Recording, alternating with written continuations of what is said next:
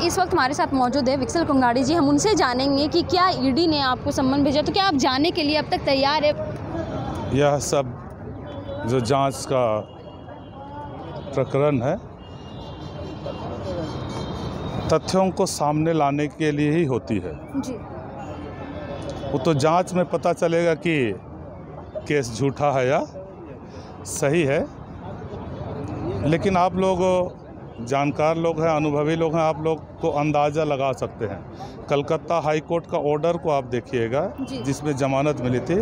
और हमारे Ranchi high court का ऑर्डर जिसमें आरोप पत्र दाखिल ना करने का ऑर्डर है और इधर तीन चार दिन पहले भी कुछ हुआ था। उन सभी चीज़ों को आप देखेंगे तो आप सब हमको पता चलेगा कि यह मामला किस तरह का है? क्या खुद को अब आपने सर तैयार कर चुका है ईडी के समक्ष फिर से जाने का सवाल हर सवालों के जवाब देने का? क्या खुद से फिर से तैयार कर लिए आपने खुद को?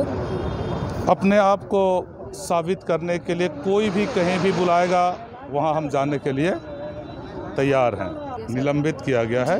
कांग्रेस में हम हैं।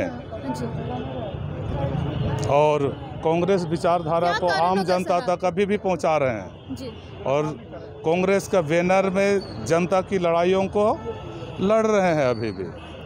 सर क्या लगता है निलंबित करने का कारण क्या होगा सर? इस तरह से निलंबित कर दिया जाए क्या भरोसा नहीं कर रहे जब पार्टी से जुड़े हुए कोई भी जिम्मेवार व्यक्ति पर कुछ आरोप लगता है तो इस तरह की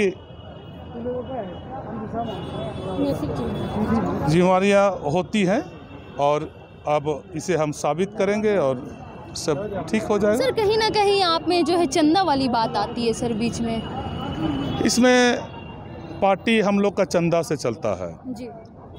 आप लोग सबको जानते हैं सभी पार्टियाँ चंदा लेती हैं और चंदे से ही राजनीति होता है।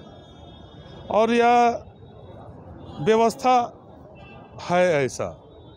सभी राष्ट्रीय पार्टियाँ लेती हैं। है ना? क्योंकि पार्टी के पास तो कोई कारखाना तो है नहीं। जी। कोई पार्टी का बिज़नेस अपना तो है नहीं।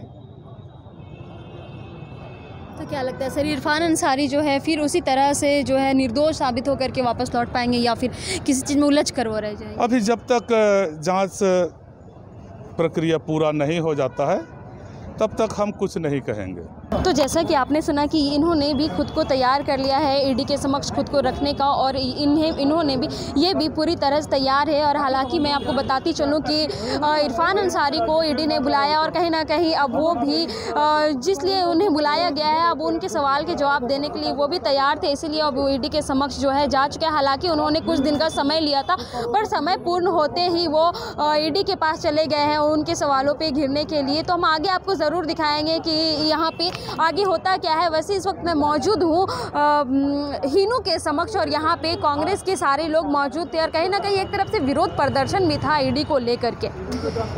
जीएन भारत से नेहा खान की रिपोर्ट। अपने राज्य से जुड़ी हर ताज़ा खबरों के लिए आप हमें सब्सक्राइब करें, साथ ही बेल आइकन बटन दबाना ना भूलें।